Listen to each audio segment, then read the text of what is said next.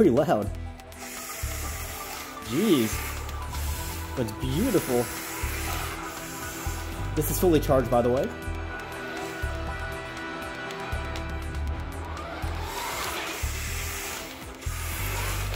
And this is the 110 scale version of this uh, Aston Martin. Oh shoot! Scratch. Look at that, whenever I turn the wheels, look how loud that sounds. Or listen how loud it sounds. Hard to let it rip in here because it's not much room to drive it.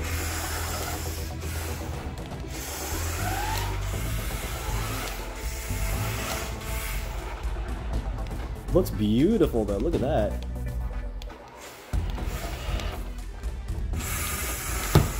Wow, why did I just do that? I don't know. Let's park it in here. And then come back out! What? Look at that interior, guys.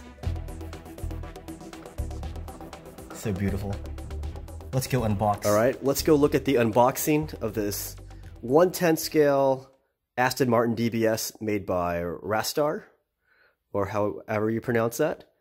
Now, um, this car actually made its first appearance in uh, James Bond's Casino Royale with Daniel Craig, and then it came back for uh, Quantum Solace, and it got wrecked in both of those uh, movies.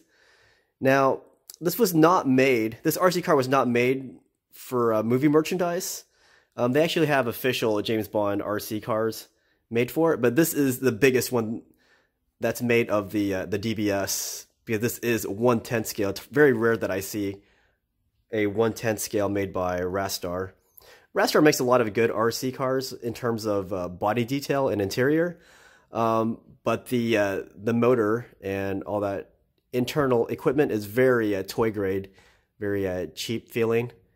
But I do love Rastar's attention to exterior detail. Now, uh, this uh, car actually first came out in 2007, the actual car.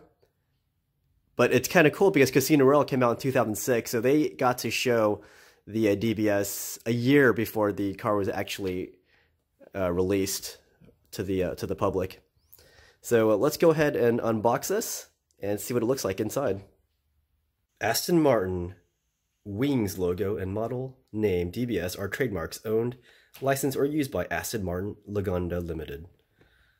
So uh, here's a look at the uh, batteries that I need, and it comes with this. So I can discharge that, and then I'll just slap in a uh, 9 volt for the uh, transmitter. All right, let's go start with uh, this side here. Just usually, yes, there's some tape on top. I'll cut. There you go. The side piece here. All right, should be a bottom piece. There you go. So this should just slide right open. I love how whenever Rastar gets, whenever they make RC cars, they're always officially licensed. They get some really awesome detail. Because they're allowed to. Alright. By the way, this thing is really heavy, this RC car. I'm surprised. Usually toy grade RCs are aren't this heavy.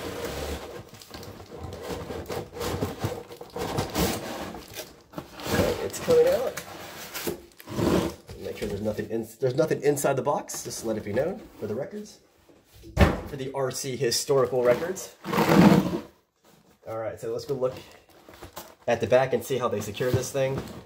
We got two screws holding the uh, transmitter and screws holding the remote. I'm glad because screws are easy to take out, whereas those twisty things are really annoying. And this is probably the battery stuff. Let's go take out this box first.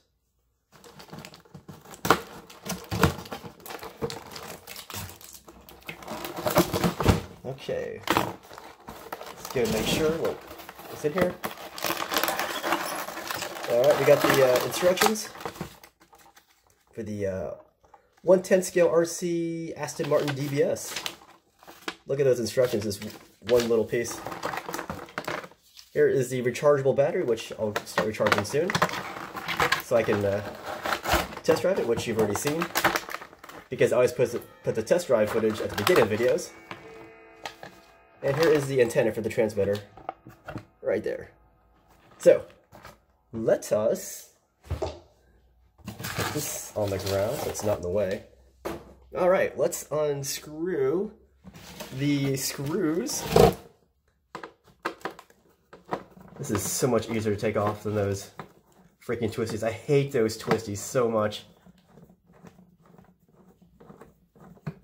All right, that should be good for that.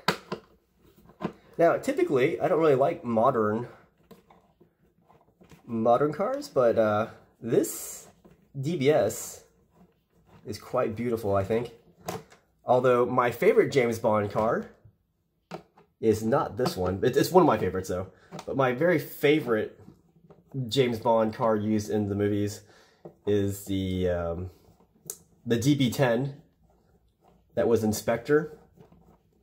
And that's another modern car. Now, the cool thing about the DB10 is it was made specifically and only for the James Bond movie Spectre because they never sold that car to the public. They only made like 10 of those.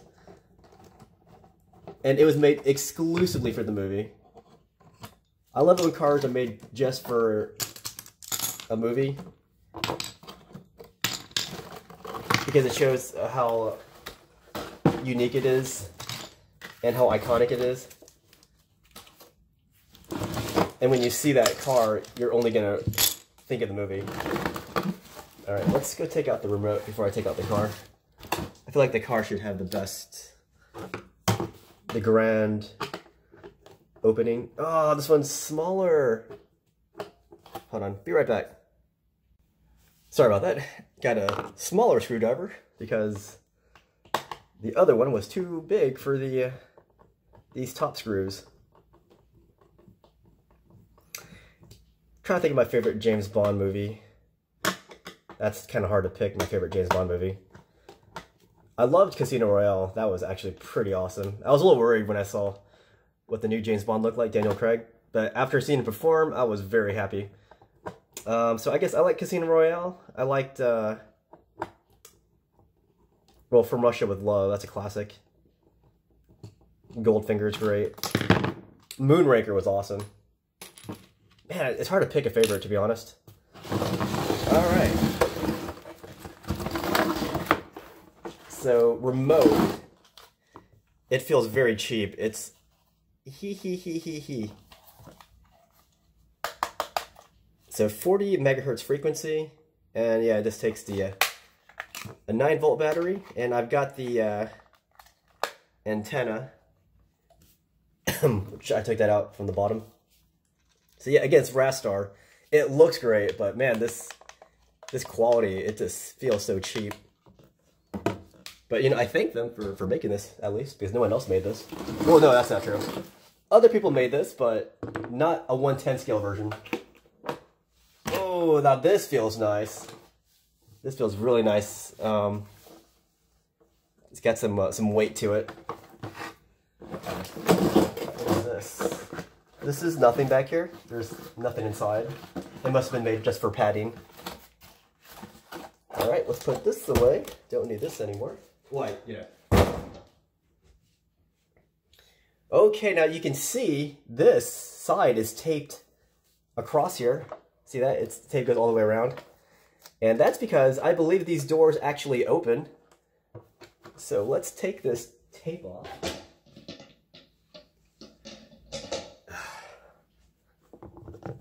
I hope the doors aren't loose when I take this tape off. All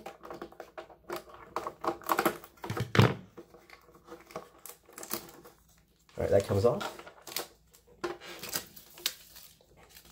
Okay. All right, let's just see how easy it is to open these doors. They swing open pretty easily. But I guess because of the speed of this car, it won't make a difference. I don't know. I mean, it's, it's not bad. I, I wish there was a way to to close it shut and it latches on with like inside latch. All right, let's go. Ooh, it's a little dirty right here. Didn't know how that happened. Let put this bad boy on the spinner. You can see it from all glorious directions here. So yeah, it's not my favorite James Bond car, but it's one of my favorites. It's beautiful. And of course, there is the, the classic uh, DB5 that Bond drove in uh, uh, Goldfinger, or was it From Russia with Love, or the both, forgot. That one's classic, but this one is extremely functional. It's super fast. Of course, I'm sure you would stick out like a sore thumb if you're on a top secret mission, you come off with a super expensive uh, car. So let me show you the interior. It needs to be seen. All right, so let's pop this bad boy open. Oh, that is nice. That is nice. Got a little uh, back seat there, which I don't think people would actually go back there. I have a, I have an Eclipse where there is kind of a back seat, but I don't recommend people going back there. But yeah, this door opens too on the passenger side. Oh, it's so beautiful, this RC car. I'm, I'm impressed by the by the detail this 110 scale RC. By the way, surprise, made in China. Oh, great.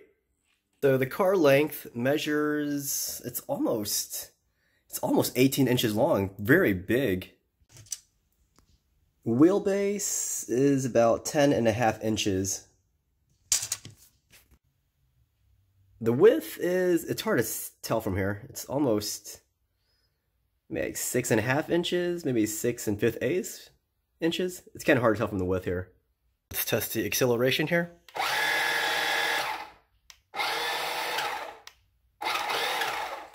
Left and right turn. So it's not a digital proportional steering or speed, but that's not bad. Look at that. So the headlights come on when you're driving. That's reverse. Reverse. See the, the tail lights coming on? Ooh, look at that. It kind of fades away. Now forward. Forward motion, the headlights come on. To be honest, I prefer that RC cars start giving you the option to leave your lights on and then turn them off, not only turn on when you're driving forward or backwards. I kind of would rather not even put any headlights on if that's the case. But yeah, they should start putting the option where you just have a button on your transmitter, leave them on or off. Because I've seen RC cars that do that, even toy grade ones. In conclusion, my review, I love this RC car. The detail, the, the exterior detail, the the interior detail, it is it's unmatched. But again, the the actual electronics and motor on this RC is really cheap. I hate that sound when I'm turning. It goes weird, weird. And I wish it had variable speed and steering, or, or, digital proportional speed and steering. But that's that's a lot to ask for in a toy grade. I've seen a few toy grades actually implement that. Um, whatever. But this this detail is it's just unmatched. I, I love the detail on this Rastar. This is easily Rastar's best RC car ever made. And it's one of the most beautiful RC cars I've ever seen. And if you're a James Bond fan, and even though this isn't a uh, an official James Bond piece of merchandise, you really should get this if you could if you can find it still.